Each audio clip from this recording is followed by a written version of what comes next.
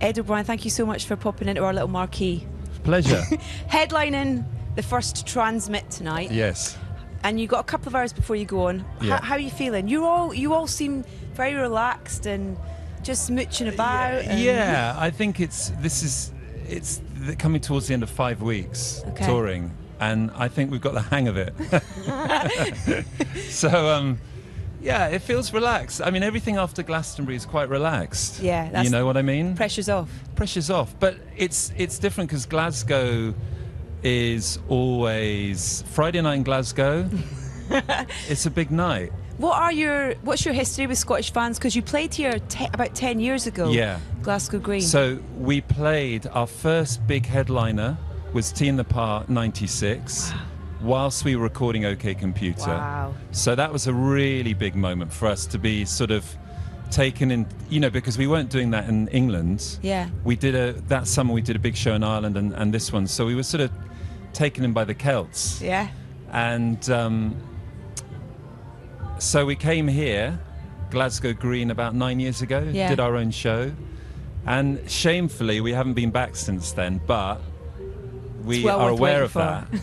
and we're going to redeem ourselves. Oh, I've seen I the set so. list, and it's Okay. it's incredible. Okay, good. And and lovely to come and celebrate 20 years of OK Computer with the Yeah. Scottish fans as yeah, well tonight. I, it feels.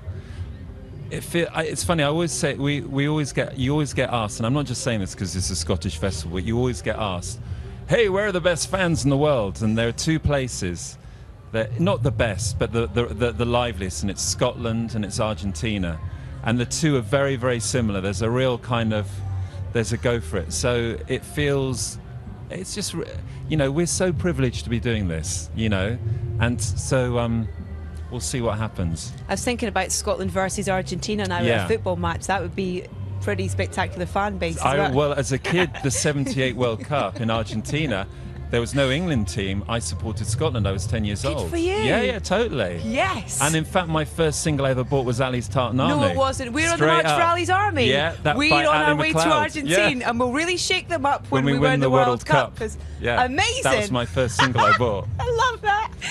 Five weeks you've been talking about this, Yeah. you know, these incredible shows you've been doing. What's what happens after So we after tonight? do one more show, Mm-hmm. a very uh, low-key, uncontentious gig in Israel,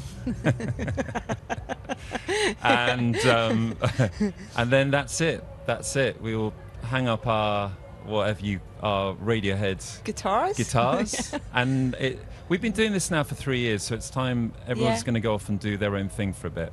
But then more to come, obviously. At some yeah, point. there's. I think there's a, little tour planned for next year, but it's basically it's it's downtime. amazing. Yeah. Thank you so much for coming in and chatting to me. I really, really appreciate it. Thank and you for having us. I cannot wait to see the show tonight, as can't 50,000 fans out there. Great. Thanks, Ed. Cheers. Thanks, Edith. Thank you. Cheers.